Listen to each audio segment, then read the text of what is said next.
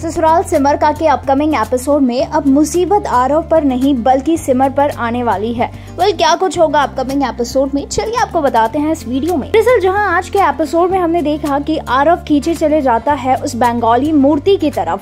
तो वहीं सिमर भी उसके पीछे पीछे जाती है। लेकिन यहाँ पर सिमर ललकारती है और कहती है कि आरव उस मूर्ति का नहीं हो सकता क्योंकि वो उसका है। अब यहाँ पर बड़ी माँ जब गुरुजी से बातचीत करती हैं, तभी वो पूरी कंडीशन बताती हैं और कहती हैं कि आरव लापता है।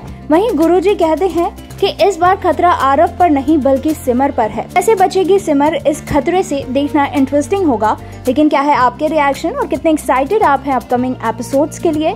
कमेंट सेक्शन में ज़रूर करें शेयर बॉलीवुड टेलीविज़न और एंटरटेनमेंट जगत की तमाम खबरों के लिए बने रहिए हमारे साथ, यानी हमारे चैनल पर। Thanks for watching